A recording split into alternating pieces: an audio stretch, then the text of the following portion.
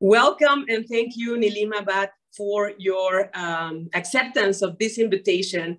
Thank you so much uh, for joining us to talk a little bit about uh, Shakti leadership and uh, what it can mean for us, um, not only women, right, but also um, everyone in, in, in, the world. So, um, well, um, I would like to start perhaps with uh, a general question um, as we we um, had uh, the Women International Women's Days, uh, we are faced with the realities of inequalities of women, in not only the workplace but in different spaces in in um, our, our work today. So I would like to start um, with asking you, um, how can you uh, maybe explain to us what Shakti leadership is and what how this perspective allow, allows us to perhaps give um, in, inequality and these perspectives that um, are provoking these inequalities, um, leave that on the side and advance to uh, perhaps a more holistic way of seeing leadership and how it can make us equal again. So uh, can you explain to us a little bit about uh, what it is Shakti leadership and how it can help us in this way? So first of all, thank you, uh, Christiane. It's so nice to be on this call. And thanks to Raj Sisodia, my co-author of the book Shakti Leadership, uh, for having made this uh, introduction.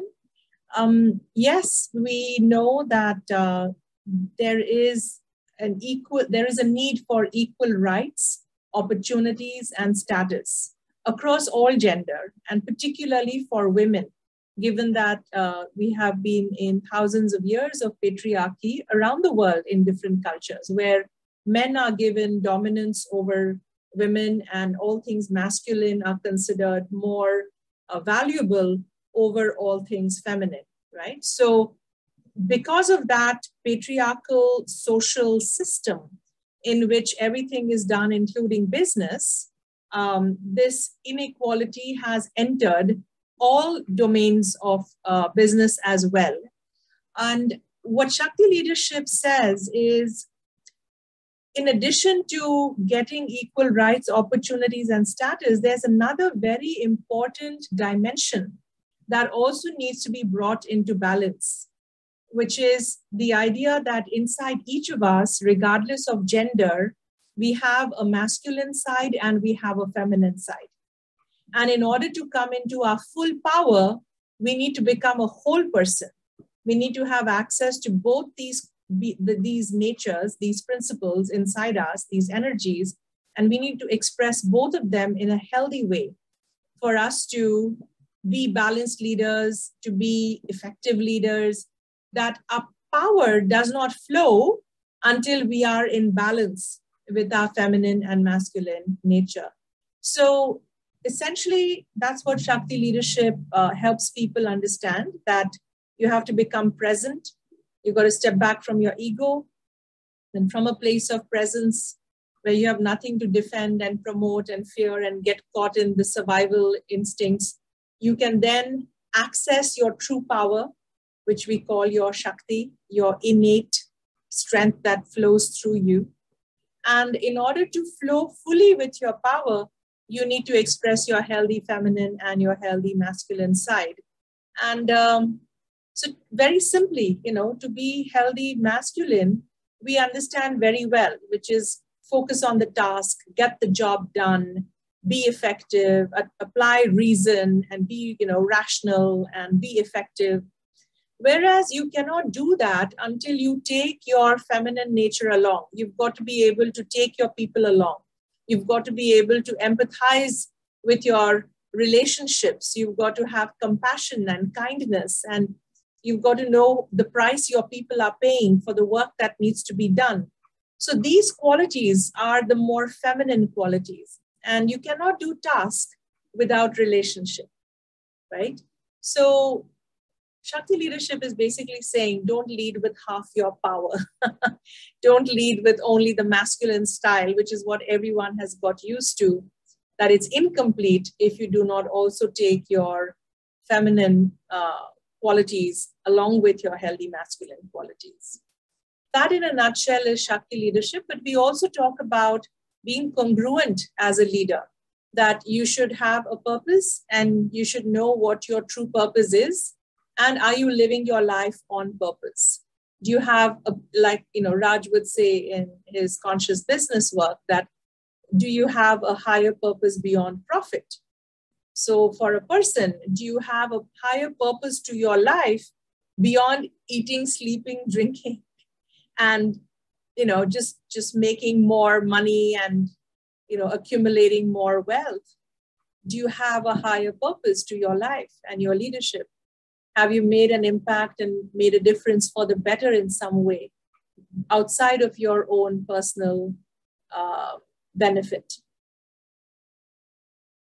Thank you. So um, if I got it right, this helps us or um, like overcome these unequal views of uh, gender because yes. everyone has an innate power that can be, let's say, brought to surface. Um, so th thanks for explaining to us uh, that. But you mentioned also that in the business arena, there's been also like this predominance of more uh, masculine energy and masculine traits and um, I, I, believe that it's, it's, very complex for women when they enter the, the, the, the, the, the workspace, right? Because as they seek to advance in their professional careers, probably uh, some of them have tried uh, or have gone with the flow and perhaps embraced um, this way of, of, of working and leading, right? So maybe we turn down our feminine energy and try to emulate the masculine. So, mm-hmm. can you tell us how can we perhaps go back to the healthier side that you've mentioned and maybe mm-hmm. explain to us a little bit of also the unhealthy side so that we know um, perhaps and recognize when we are on this unhealthy side for us to move on to the other? perfect question. I'd love to show you our polarity map uh, you know, how do you work with your polarities? This is the work of uh, Barry Johnson on how to leverage both polarities. And I have applied it to masculine and feminine poles, that these are interdependent pairs. Both are needed to be effective. So the way a polarity map works is you create these four quadrants and you say what you don't want is to block your Shakti. What you do want is to release your power, your full Shakti. And for that, you've got to be able to leverage both your feminine and your masculine uh, values and behaviors as a leader.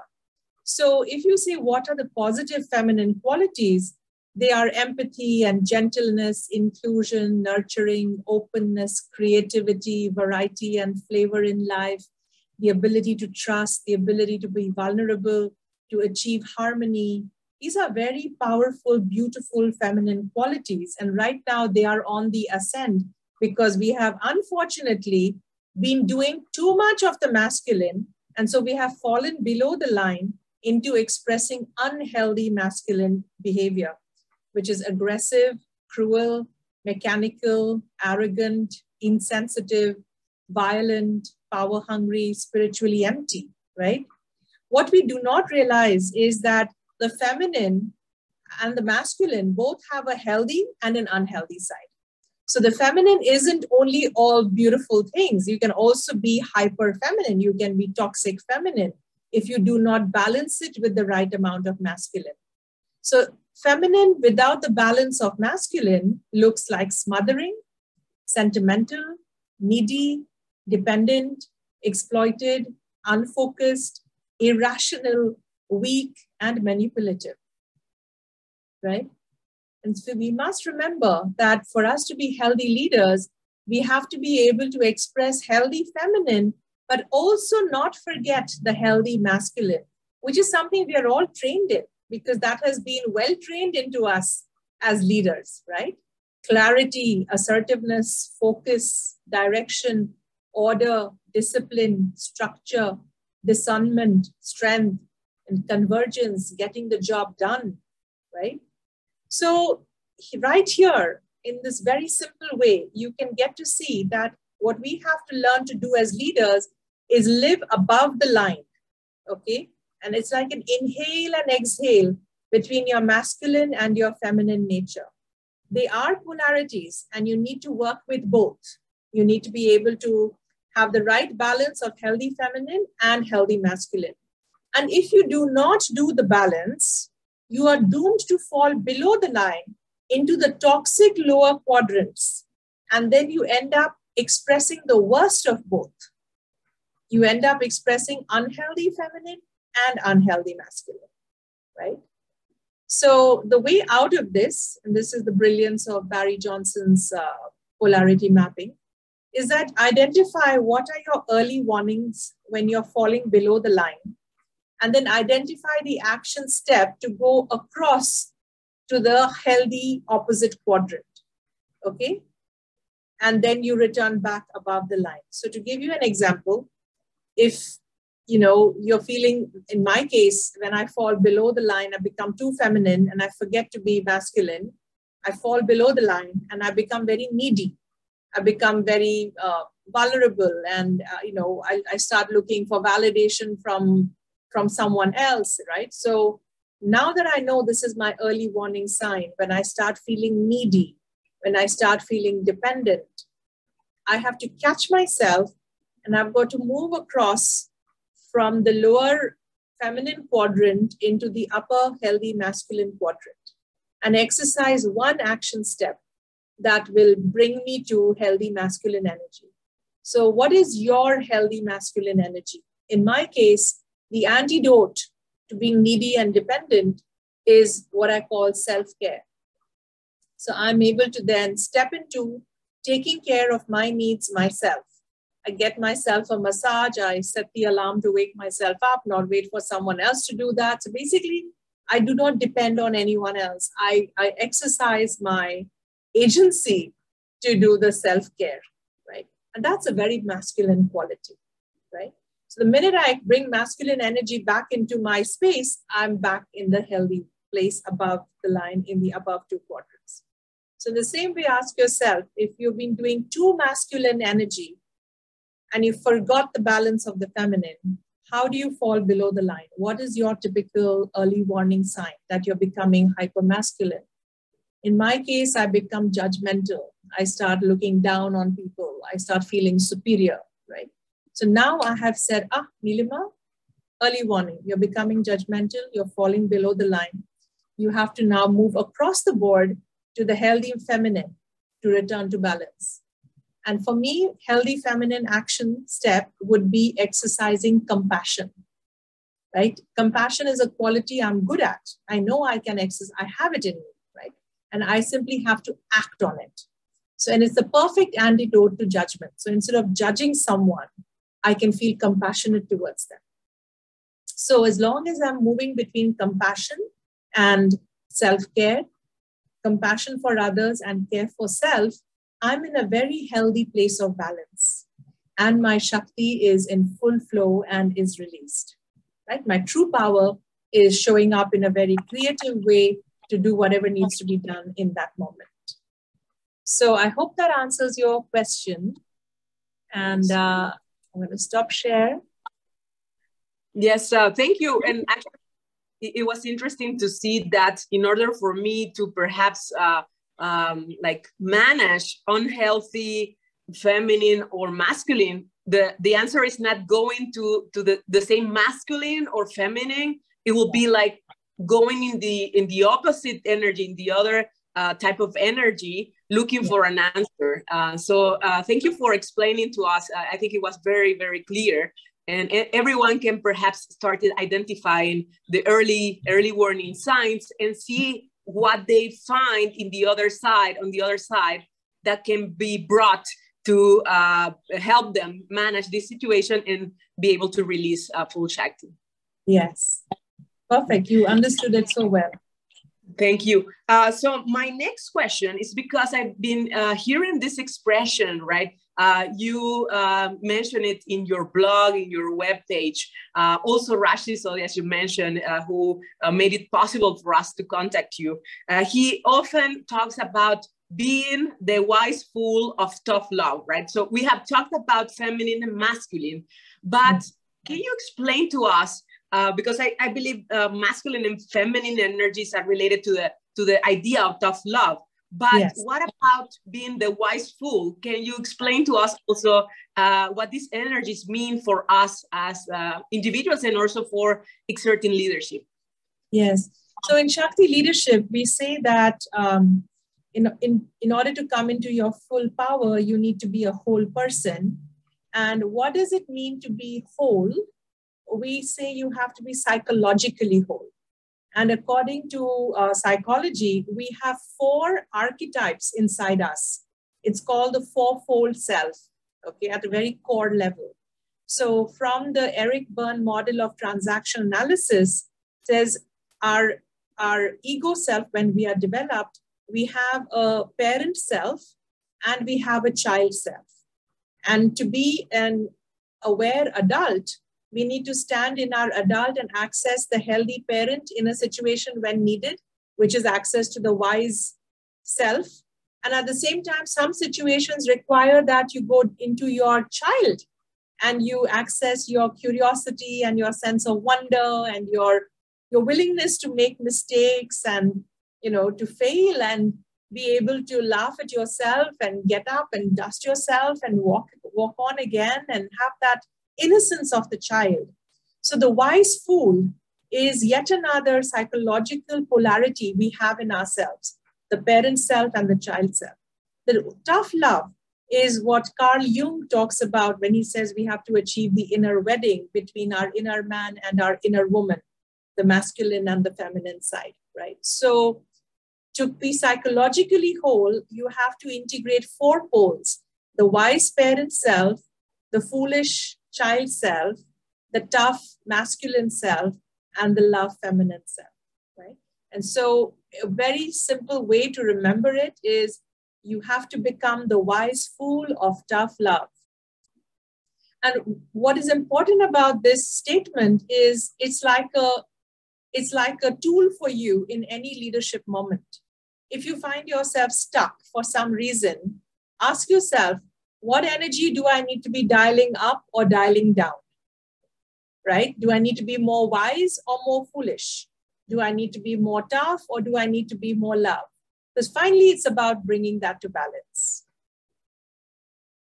Yes, and uh, thank you for explaining uh, to us that also because I think it's important, right? I can relate to that. Um, as I started teaching, I envisioned the role of a professor um, as being something very, uh, let's say, I don't know, formal, right? Um, so I had entered in this in this type of character, right? That was really too formal. Uh, but later on, I realized that I could also allow myself to to to have fun, right, with my students and teach. And I think that balancing formality and also allowing humor to enter the classroom, for example, for me, helped me be more natural and even got better results at uh, my uh, teaching evaluations. You know, the fool energy, the child energy is going to redeem us. Because look at the world, it's at war right now. It's because there is too much adult energy, there's too much you know uh, grown up energy you know if, if all of us remember to lighten up and play we will not be going to war and killing each other you know? Mm-hmm. so uh, sometimes the wise and the tough and the love cannot do what the fool can do. Mm-hmm.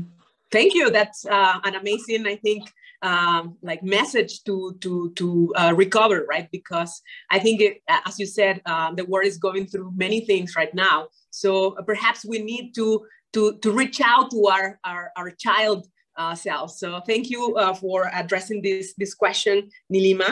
Uh, I would like to also maybe uh, discuss a little bit of something you mentioned at the start. You mentioned uh, the need for congruency and purpose, right?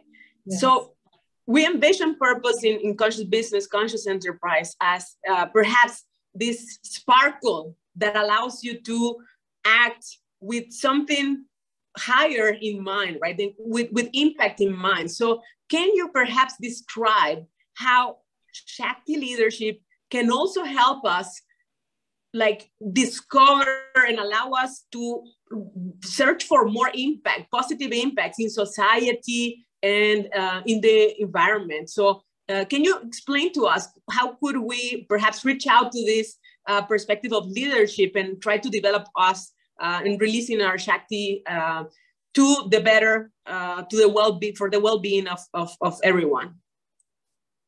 One of the things uh, Shakti leadership talks about, and this draws from the Indic tradition, like what is the purpose of life? The purpose of life is to follow your bliss. You know, what brings you joy? And if you can't follow your bliss, then as Andrew Harvey says, follow your heartbreak. You know, what is it in the world that breaks your heart? You know, go out there and fix it, heal it, find a solution for it. So, um, in the Indic tradition, we say that uh, the, you know there are four main pursuits of life that give life meaning and give life purpose. Artha, Kama, Dharma, Moksha. So Artha is meaningful work, right? Beyond just profit. Um, kama is loving relationships. Dharma is finding a way to living your true life, finding the truth of who you are and expressing that through your work and your relationships. Like the leader the leader you are is the person you are right? Finding your dharma walking your dharma. And then moksha is breaking through to freedom from ego and bondage and getting out of this small little rat race you know that there is more to life there is freedom and fulfillment to be to be searched for and in the pursuit of these four things artha kama dharma moksha you realize you cannot get to it with your ego.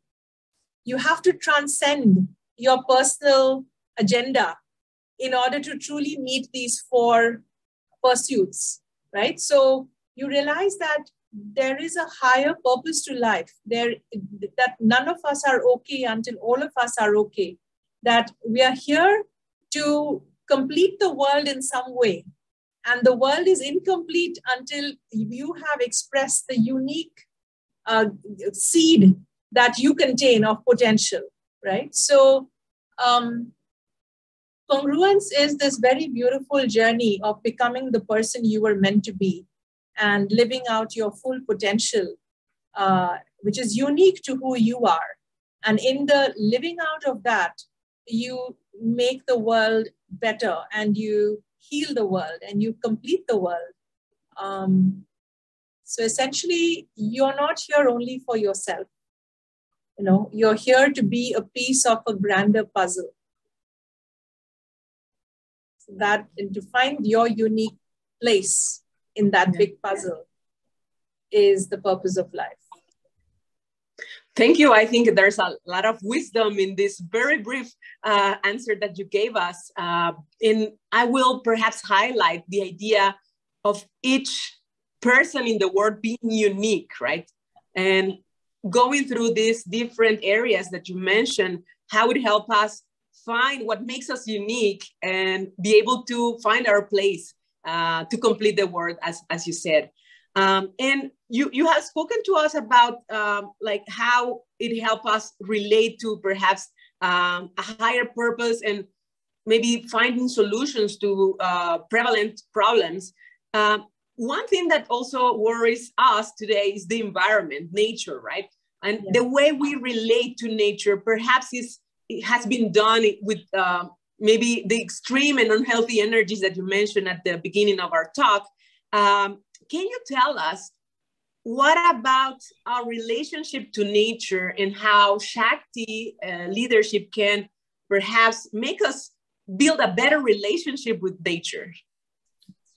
In Shakti leadership, when we talk about wholeness, we mention psychological wholeness, but there are two other uh, kinds of wholeness as well.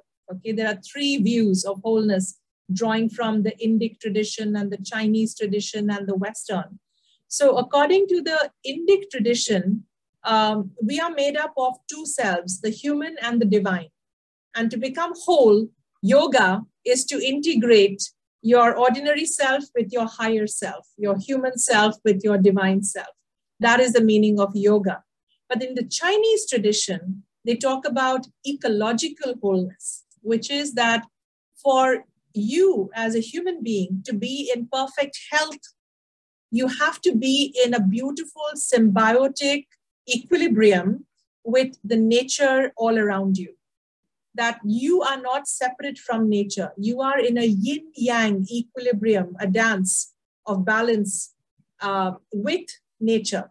So, in Chinese medicine, the Chinese doctor will diagnose your sickness when you fall sick by saying, How have you lost your balance with nature? How have you disconnected from nature? How and, and to heal, how can you go back and reconnect with nature in a way that your energy flows in a mutuality? The health of the nature around you is a mirror of the health inside you.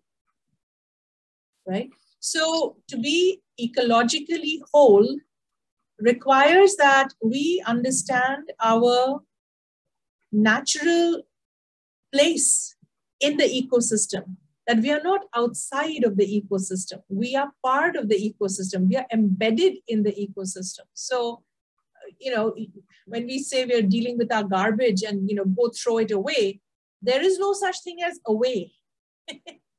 there is no way because this is one finite planet, right? Whatever we throw outside is going to recycle and come back to us. You know, it's like throwing something into the ocean, the ocean brings it right back to the shore, right? So there is there is this profound understanding in uh, the approach to wholeness that you cannot be whole without being in integral balance and reciprocity with all of nature. Thank you, Nilima. Uh, I think that, um, yeah, understanding our interdependence with, uh, yeah, not only humans, because we, we touch on that, uh, but also with the natural environment that surrounds us is very much important. Um, let me go back also, we discussed a little bit about how we can uh, perhaps uh, discover purpose and uh, enhance this pursuit of purpose to um, have positive impacts. But there are problems, in particular, for example, in Mexico, we are um, every every time that we turn on the news, we see that there's a lot of violence against women.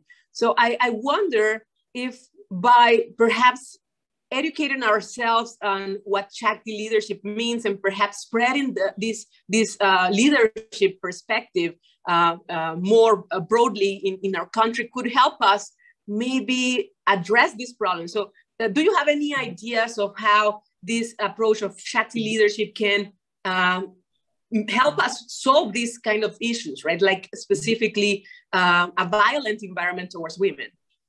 Yeah. Well, that just breaks my heart. You know, violence against women is true of so many macho cultures, right? And uh, in Shakti leadership, we do not make the men wrong or bad. We, we say the men are as wounded and traumatized as the women are because they have lost their wholeness. When you do not develop your feminine side, when you suppress it and you repress it, you become toxic masculine. And that hurts you as much as it hurts others, right? Because you've lost part of yourself in the process, right? And so you're going through a wound, you're going through a trauma because of the loss of self in some way, right? And um, the really the only the only solution is for all men, women, children, regardless of gender, to be able to access this lost feminine and be able to express these capacities of empathy and care and kindness and compassion and inclusion and intuition and reciprocity and vulnerability.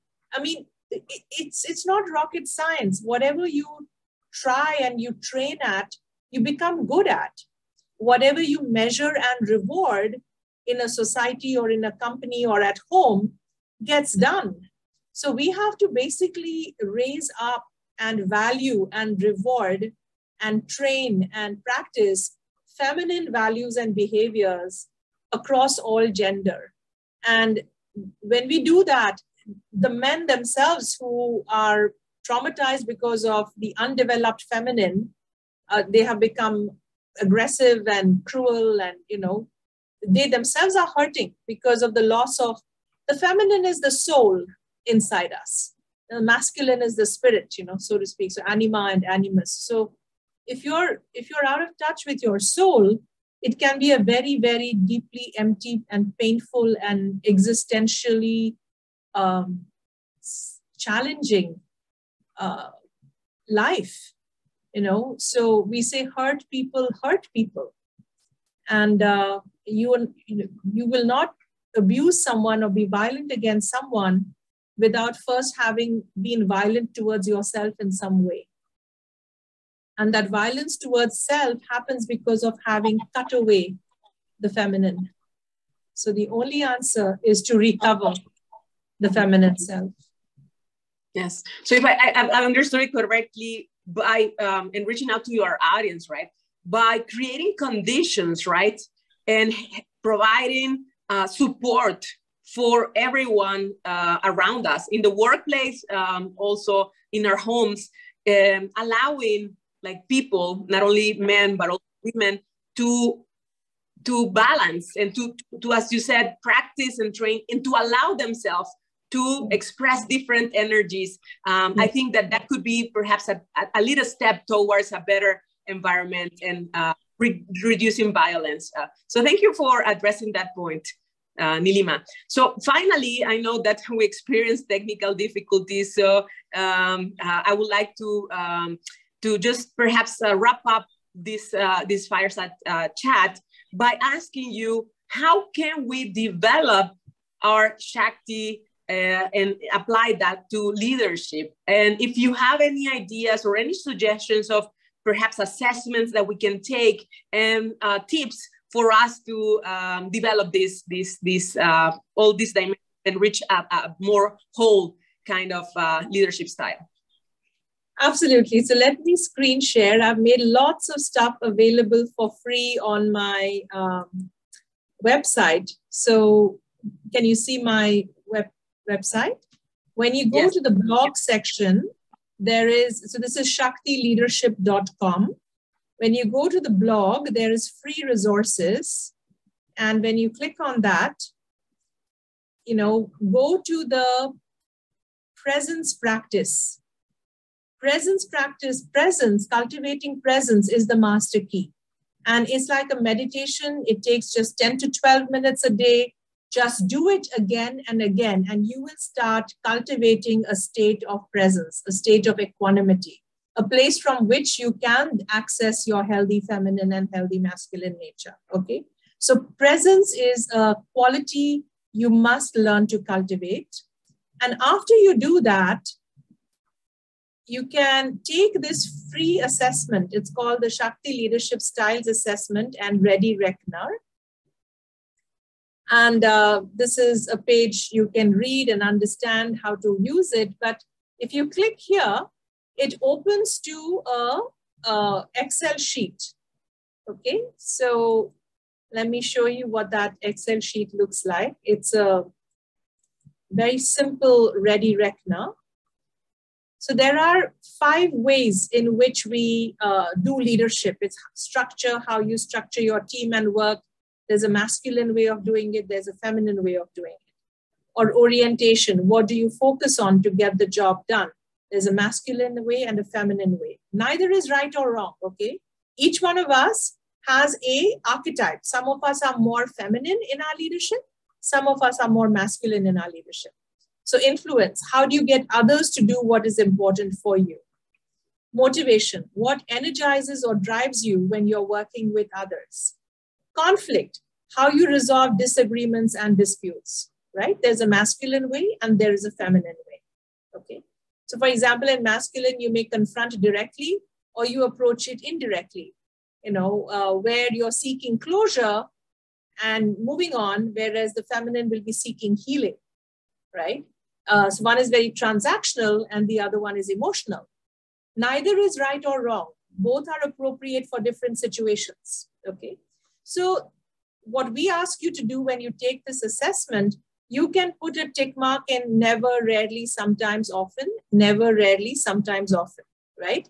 And when you start assessing yourself and your behaviors, at the end of it, you will receive a score. And the score will say your overall leadership style is either balanced, or you are masculine as a leader, or you are feminine as a leader. And within each of these domains, your structure approach is either masculine or feminine. Your orientation focus is either masculine or feminine. Your influence style is either masculine or feminine. Your motivation type is either masculine or feminine. Your conflict management is either masculine or feminine. Now, here is the ready reckoner. Okay, one is to know what is your natural style. So play to your strength. If that's who you are, good for you, play that. But if that is not working, okay, if you are stuck for some reason, then we say to you, we, we, we say, think about a situation, for example, in conflict. If your style is more masculine, you know, because you're confronting directly or whatever, then hey, try the opposite behavior. And right here, we have even given you the very specific behaviors. Go ahead and approach the problem indirectly. You know, feelings and facts give both of them importance. Instead of being very uh, closure oriented, you know, how about seeking some healing? Instead of being transactional, is it okay to be emotional? Go ahead and express emotions. Go through the hurt and the pain. Maybe that's the only way you're going to be able to move through this, right? So, vice versa, if you're going through a conflict situation and you're a feminine leader, you've got to now try some of the opposite. Hey, how about confronting directly?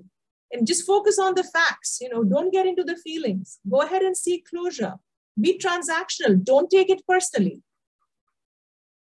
Right? So, this assessment is also a it's a diagnostic and it's a solution. Yes, uh, thank you. And probably it will not necessarily be easy to perhaps uh, change behaviors that have been, we, we, have gotten used to them. But I think as uh, you have proposed us, at least becoming aware of where we are, right? Yeah. Help us uh, understand that and willing to be willing to, uh, by be willing to, to change our behaviors, then we are progressing and developing this. And, you know, we have to anything you practice, you become good at. Mm-hmm. So just because we have a habit of being one archetype, masculine or feminine, doesn't mean we cannot be the other. Because psychologically, we carry both. Mm-hmm. mm-hmm. It's simply that we have preferred one and neglected the other. Mm-hmm. But if that style doesn't work anymore, then we have no choice but to balance with the other style. Yes, thank you. Yes, so uh, if, if I can summarize uh, your uh, suggestions for the developing our Shakti is uh, like practicing presence and taking this assessment uh, slash also uh, solutions on the sides of the of the behaviors, right? Absolutely. If you can do those two things, you'll find yourself in your Shakti flow. So uh, thank you for very specific suggestions of how we can develop Shakti leadership and for all the answers that you have um, given us about Shakti leadership and what it means for us.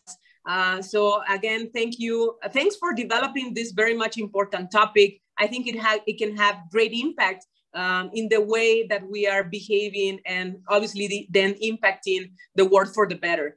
Um, and thanks again for your generosity by sharing this uh, knowledge with us. And I hope that the audience uh, also feels like I, I, I do today, uh, living with um, an energy to try to also find my wholeness and continue developing uh, myself in these areas that you have mentioned to us. So thank you very much, uh, Nilima, and hope to see you again and talk to you again very soon.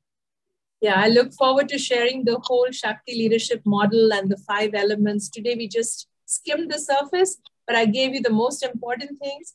There is a proper model with five elements presence, power, wholeness, flexibility, congruence, and the heroic journey, and the hero and the heroine's journey.